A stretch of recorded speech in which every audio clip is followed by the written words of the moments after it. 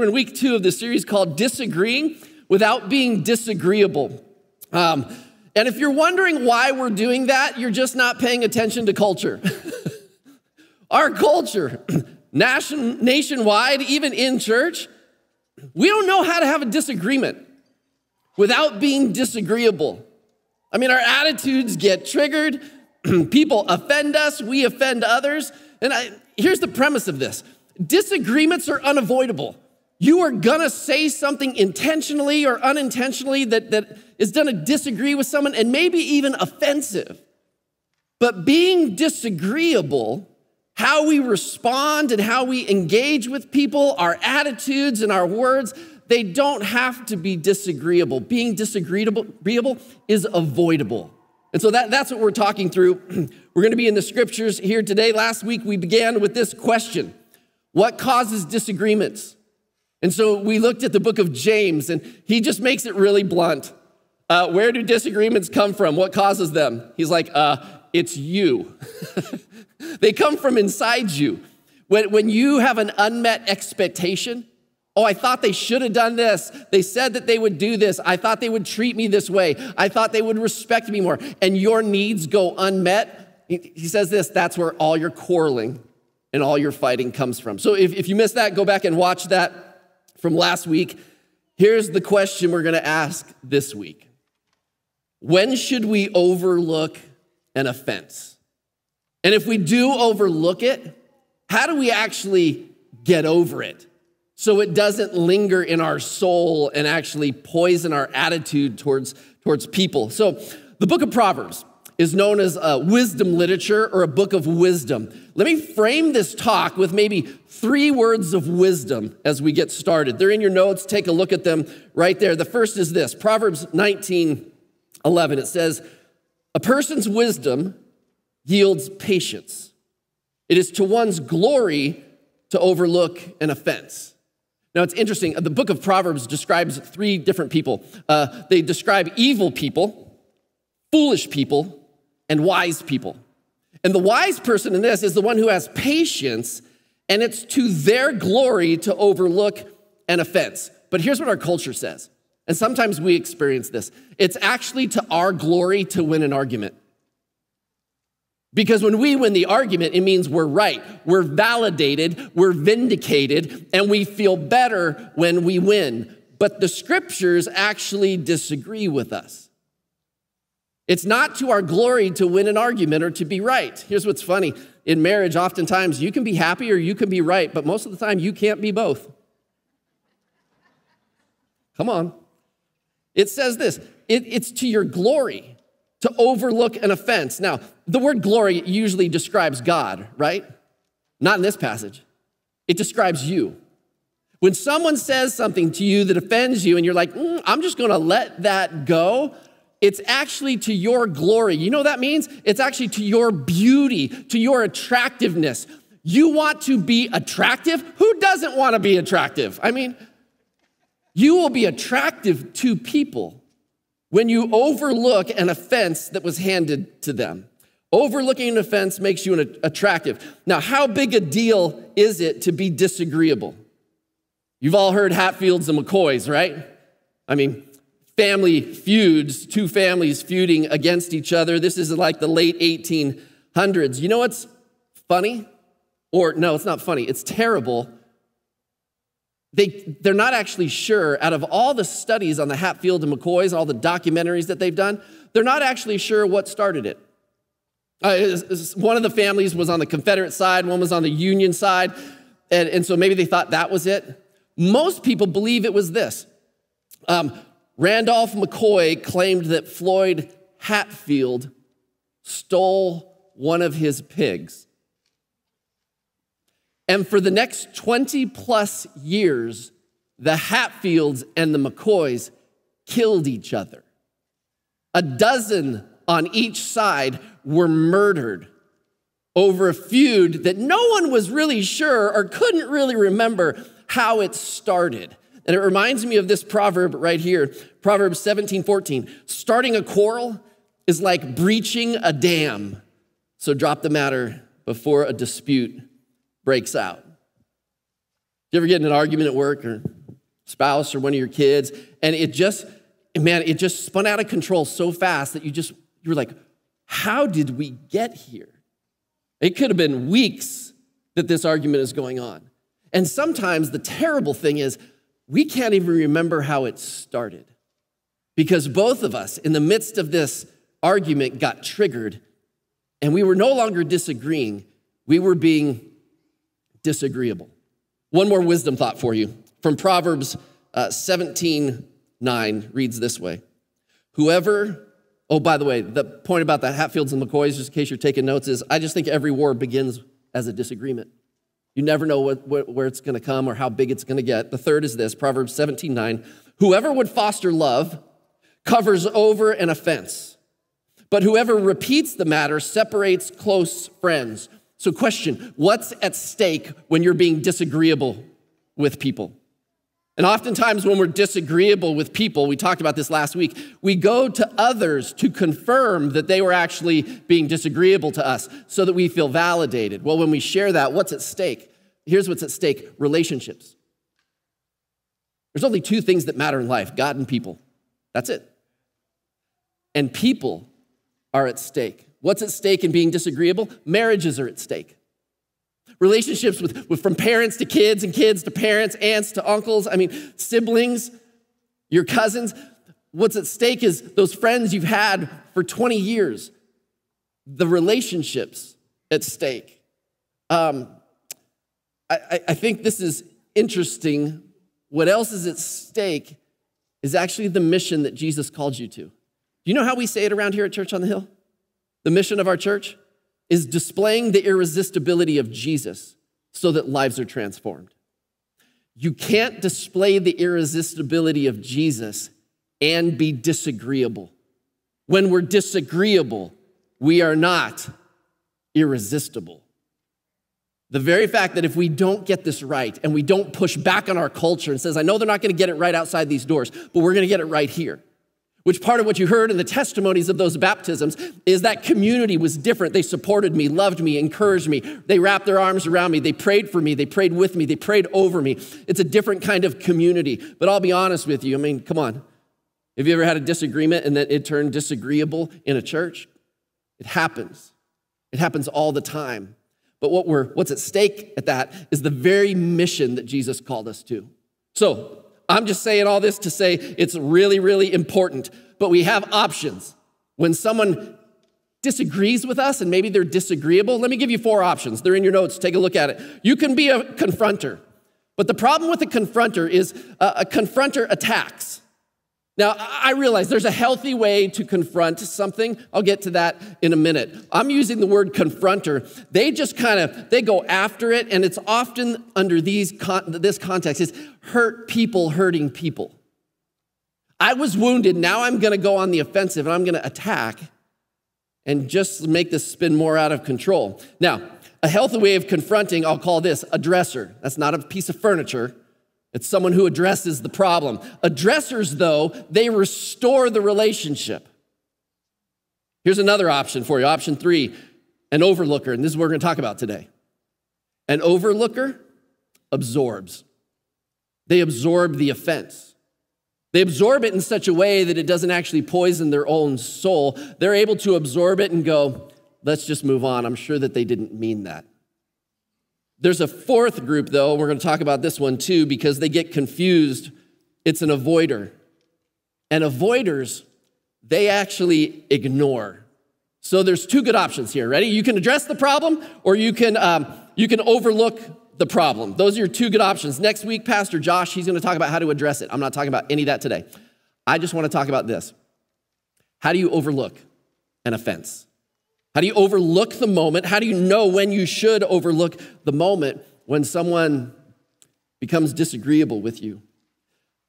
One of our problems is this we don't know the difference between avoiding a problem and overlooking a problem. So let's clarify that. Here's what it is avoiders, they ignore the disagreement or the offense and they miss the opportunity for three things resolution, healing, and wisdom.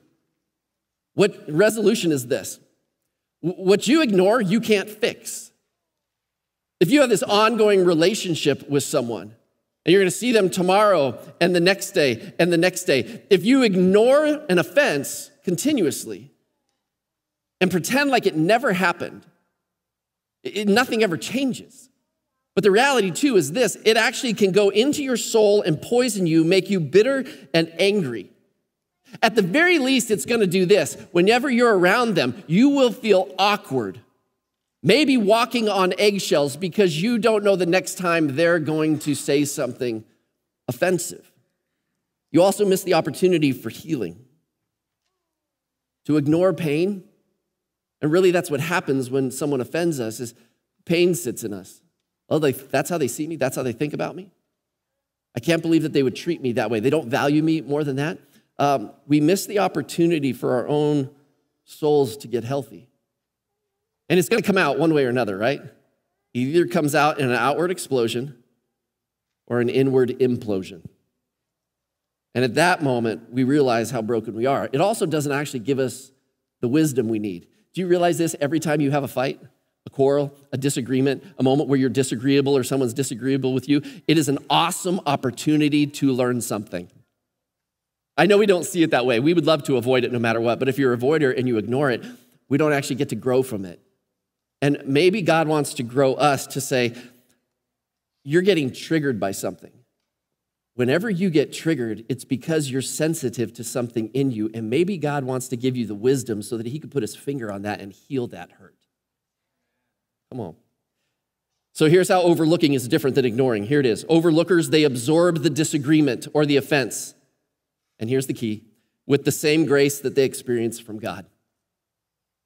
Man, when we just go, wow, I was wounded, I was hurt, I'm so mad, I'm so ticked, I can't believe that person would. God, how do you see me? And hitting that pause button to go, God, you've forgiven me for so much. And this isn't a talk today on forgiveness, but to be able to see ourselves in such a way. This says, man, God has absorbed so much. Jesus absorbed so much on the cross for me. Maybe on this moment, I could absorb this for them. Um, when you acknowledge the disagreement, you're not ignoring it, you're acknowledging it. There was something that was said there that wasn't right, it hurt. There, there's not just a disagreement, but there was something there that's disagreeable. And it, it hurt or it offended. And it becomes important to figure it out. Now, let's just say for a moment that, that your wife meant to say these words. She meant to say, I miss you. I feel like we aren't getting enough time together, and I really want to connect. But what if what she actually said was, I can't believe you're going out again. You are never here. Because you know the, all those emotions that I just expressed that with, and that's how your wife talks, right? Just kidding. Here, here's the problem if your wife, men, actually said those words to you, I miss you. I feel like we aren't getting enough time together, and I really want to connect. In your mind, guys, you would respond with, Are you saying I'm about to get lucky? See, she said something and you heard something else, right? This happens all the time. Overlooking is about this it's about choosing something that is more important than hashing out the disagreement. I may choose to value the relationship over the disagreement. It doesn't mean you're always going to do this, but hear me out through this. I'm not ignoring it. I, am acknowledging it, but I'm going to overlook it. I might value the intention of their heart over the words that they chose. You might choose peace on the team as opposed to you being right about it or confronting the disagreement. Um, quick question for you Are you more of an avoider or more of a confronter? I mean, I gave you four options there, but where do you lean? Some of you, I know, you feel like you have the spiritual gift of confrontation. God bless you. We probably won't be friends. Um, but some of you are like, no, no, no, I'm just way too kind. Like, I, I just don't want to ever, and you're an avoider. And you've ignored some things in your life. Um, the problem is that sometimes that becomes toxic for us. So let's ask this healthy question. Are you ready? When should you overlook an offense? I gave you two options, right? Really, two good options in a disagreement. You can address it or you can overlook it. So the two ends of extremes are probably not healthy. So do you address it or do you overlook it? There's a great resource out there if you want to read this. Uh, great author, good guy, uh, Dr. Bill Graybill is his name, and he writes this book called Resolve Conflict God's Way. And there's portions of this message that I have um, uh, generously borrowed from him. Um, but it's a fantastic book if you want to get that and read on that study more on that because you're like, oh, this is my issue. Um, here's the question When do you overlook it? I'm going to tell you the Bible's answer for this right up front, and then we'll work our way through it. Um, the Bible's answer for this is this. Ready? It's in your notes. You're going to fill in the blankets. The Bible says that it depends. Isn't that helpful? Like, well, let's just go home now. Like, perfect sense to me. Here's two verses for you. Uh, Proverbs 19 11. A person's wisdom yields patience. It's to one's glory to overlook an offense. We read that earlier. Well, okay, so overlook the offense. Here's the problem Matthew 18 15. If your brother or sister sins, Go and point out their fault just between the two of you. If they listen to you, you've won them over. But if they will not listen, then you got to take one or two others along with you. This is the confrontation. This is the, uh, I'm addressing something in a healthy way. So which one do you do? And the observant person might go this well, Matthew 18 is about someone who has sinned. But when someone disagrees with us, and often they become disagreeable, don't you often go, yeah, they're sinning for sure against me? And we define their offense at us often as sin. So, how do you, and let me just recommend not doing that and just assuming the best. Oh, they didn't mean to say that, or maybe I'm misconstruing what it is that they're saying or communicating to me. But how do you know which one to do? Let me give you three questions real quick. There's lots of questions you could ask. I'm just coming at this from wisdom, uh, some, some scriptures here, but Question number one is this Does this offense or does this disagreeableness cause you to feel differently about that person for more than a short period of time? Pause for a moment on that. Think about that. Here's what's funny as I'm talking about this every single one of you is thinking about a situation. Yeah, you're like, yeah, it was on the way to church today.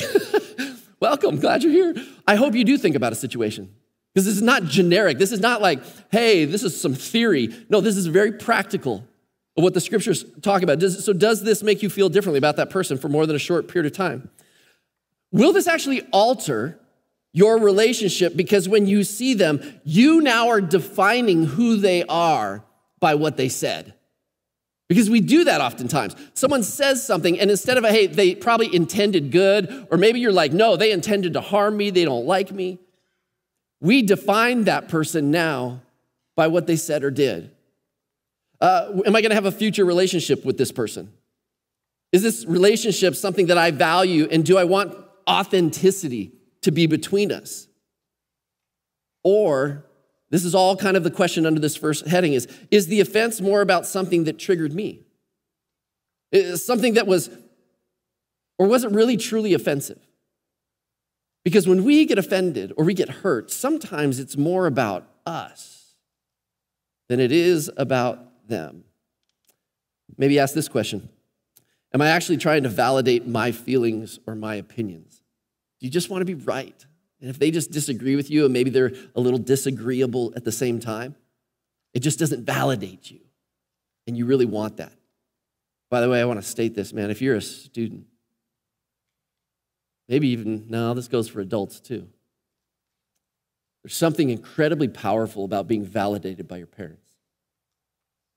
And isn't that the struggle with teenagers? I mean, as parents, you look at them, you're like, no, no, no, don't, don't, don't, slow down, wait, wait, wait. And what really what they want to hear is, oh, I'm so proud of you. I love you. I want to validate you. The problem is sometimes, depending on who your kid is, majority of their life is spent doing things you don't agree with or the behavior that you, just can't validate. I just want to state that there's something powerful in you as a 60 year old man, as a 40 year old woman that wants to be validated by your parents still.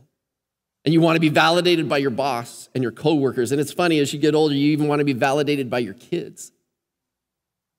And when that doesn't happen, something it reveals something about you that maybe you need to examine. It's not about them. Second big question is this Does this incident or situation cause serious harm to you, others, or even the offender? Did something happen that you go, that can't continue? If it does, it's going to leave a wake of destruction in their path. For that person to be healthy, for other people not to be harmed, we have to address this in a healthy way.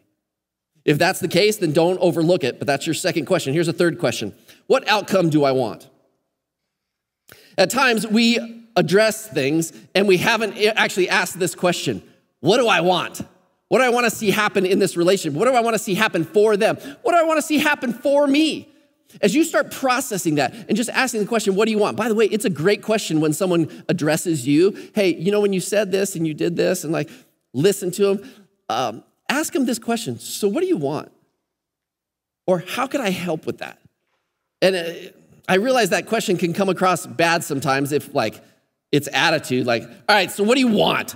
What do you want from me? no, no, genuinely, like, where do you want to see this go? What, what's my part in this? I'm listening. What do you want the outcome to be? I think as you start processing that, it's going to become clear do I overlook this or do I address this? Um, so if you get clarity on that, you're like, you know what? I'm going to let it go. I, am not going to address it with them. They didn't, I don't think that they meant ill will for me. And by the way, when you hear something come out of someone's mouth or behavior and you're like, wow, that was unusual for them, that's a great sign to just overlook it. If you're like, here we go again, another round of this, that might be a great sign to address it so that your relationship can actually be authentic, real, and healthy. So here's how I want to land this plane today. I want to land it on this. If you choose to overlook it, how do you actually let it go? Because sometimes it's hard to let it go. You know, when you've had a disagreement and maybe it's with someone you care about and you value, and all of a sudden um, the, the argument's over. But I don't, maybe you're not like me, maybe you are. I just assume people are like me, rational, logical, make, you know, common sense. Like, don't you just run that argument over in your head again? About a thousand times? And here's what's crazy. Um, maybe it's just me that's crazy, okay? And just nod at me and make me feel better about myself right now, okay? Sometimes that argument, I just keep going over and over. And then once I'm done with the argument that's already occurred, I move on to the argument that hasn't even happened yet. I know the next thing they're gonna say is they're gonna say this, and this is how I'm gonna respond. And then they're gonna say this, and then I've created a whole scenario in my head that is not even based in reality. Okay, I can tell by your response, I'm the only one who does this. So let me move on. Go to Philippians chapter 4. Philippians chapter 4 is this How do you move from anxiety to peace? How do you move from a tense, nervous, anxious brokenness to a place where you experience God's presence and his peace? So there's five things in there that I'm going to point to. But here's what's interesting. The context of Philippians chapter 4, no one ever connects these verses together. Look up Philippians 4 2. This is the context that Paul writes Philippians 4 4. So, two verses up, he writes, I plead with Euodia and I plead with Syntyche to be of the same mind in the Lord. Yes, and I ask you, my true companion, help these women since they have contended at my side in the cause of the gospel. What is happening here? These are two of Paul's close friends. People who they serve together in the church. They're contenders for the gospel. And they can't get along. They're having a disagreement.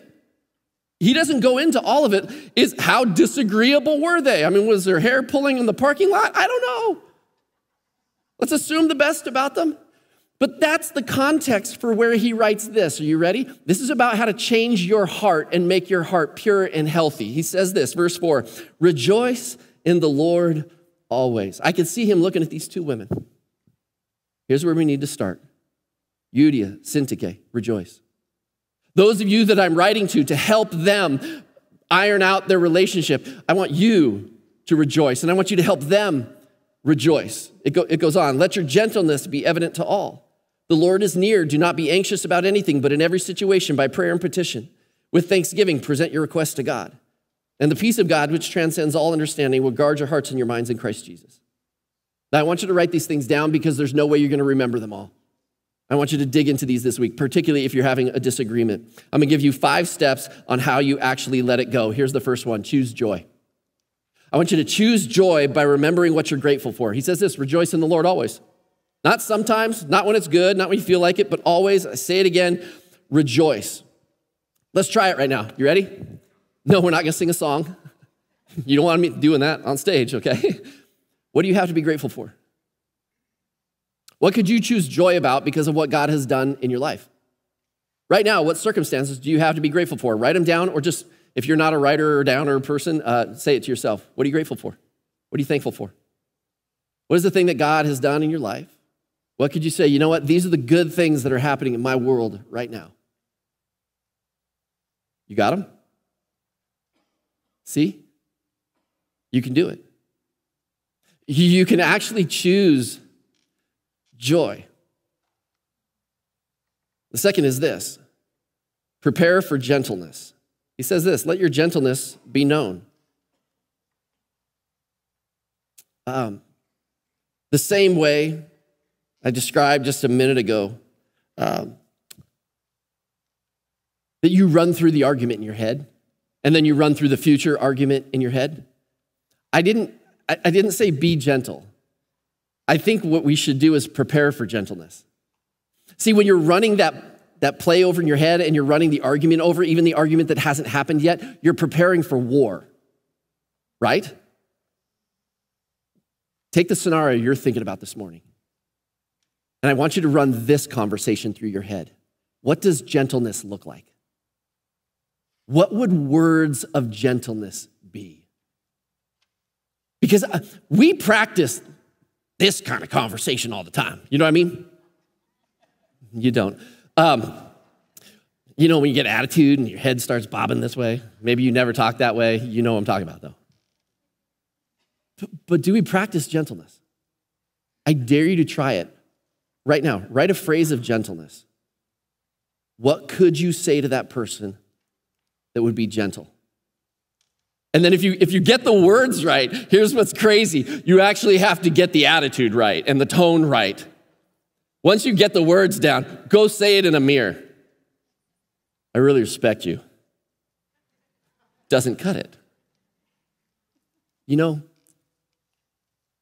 even though despite everything that's happened, I, I really deeply respect you.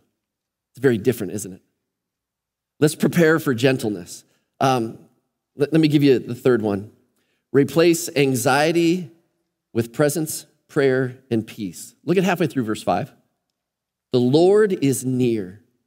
Do not be anxious about anything, but in every situation, by prayer and petition, with thanksgiving, present your request to God and the peace of God, which transcends all understanding, which means this it doesn't even make sense. Peace in us that doesn't make sense because it's not based on our circumstances, it's based on God's presence within us. Will guard your hearts and minds in Christ Jesus. God's presence. Have you ever been in the middle of an argument and someone walked up? Or you've been like walking down the street arguing and then someone like walked up, or you're in the middle of arguing, the phone rings. How do you answer the phone? Hello? Oh, hey, how you doing? You just been like, rah, rah, rah, rah, and hey, how you doing? Why? Because of presence. Make note of this God is present with you. He's present in that argument, He's present with that other person. And when you realize that there's a third person in the room, it changes how you talk because you're accountable not to that one person, you're accountable to God's presence being in the room. He hears you, which is crazy because it really reminds me of this uh, you have a choice of how you respond. The second thing is just prayer. I know it's so obvious, but the question is, this did you actually pray about it? Did you actually bring this, dis, this disagreement to God and say, God, what do you want me to do? How do you see it? How should I change this? What, what do you want from me? And then pause and listen.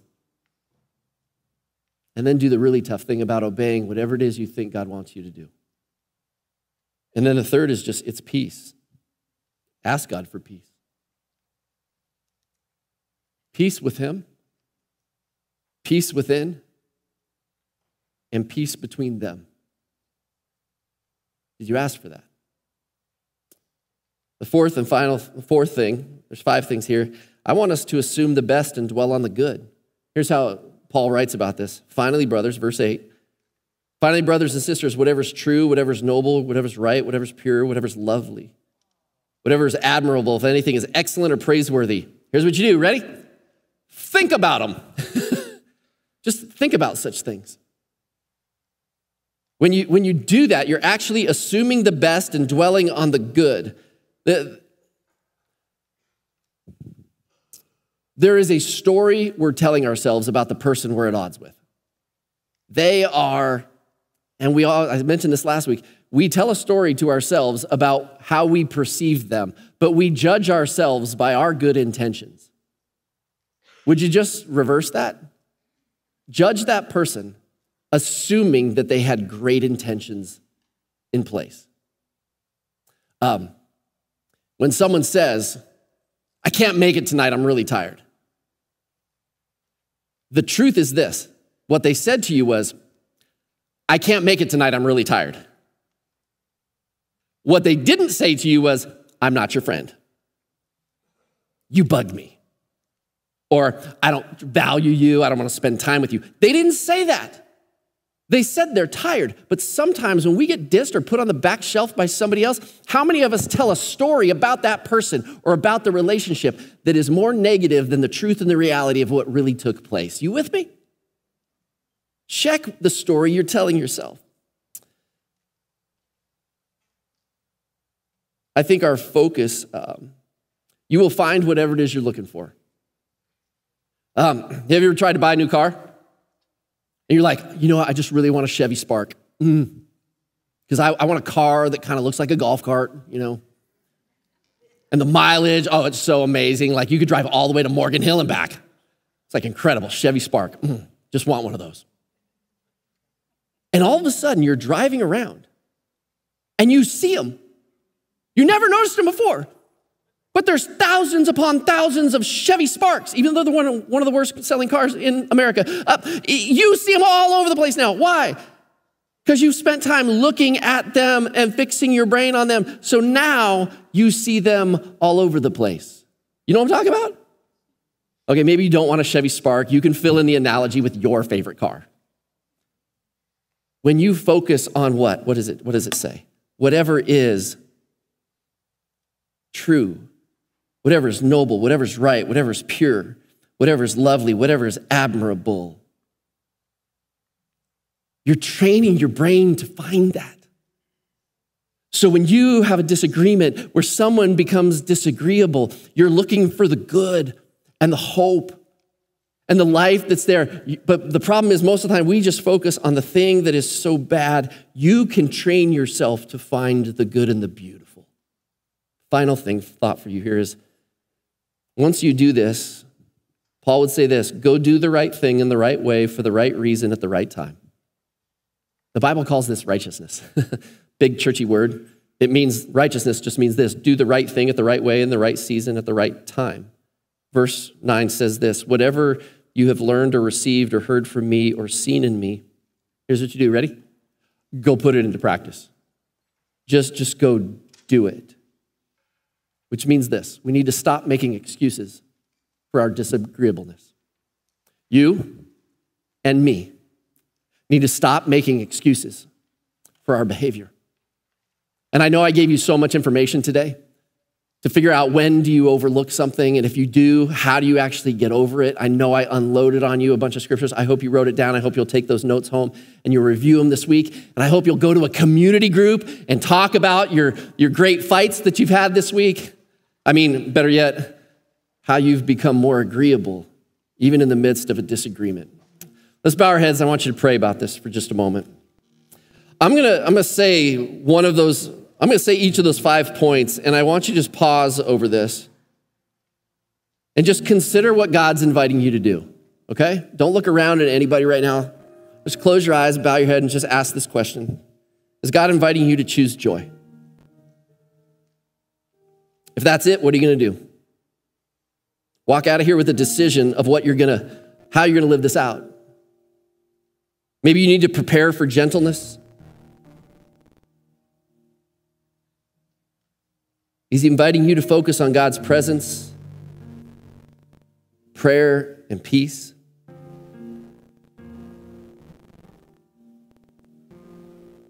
Maybe your weakness is you always assume the worst, and He's inviting you to assume the best and dwell on the good. Maybe you got clarity this morning and you're ready to do number five do the right thing in the right way for the right reason at the right time. God, the value of your scriptures is not just truth, but it's us living out your truth. So, God, would you open our eyes to see what you want us to see? But also, God, would you open our hearts that we might obey you? And when you take our chippiness that we have sometimes and chip it away, would you make us people, people of peace, people that are more agreeable and loving, so that we might display the irresistibility of Jesus, so their lives are transformed? And we pray this in his name. And everybody said,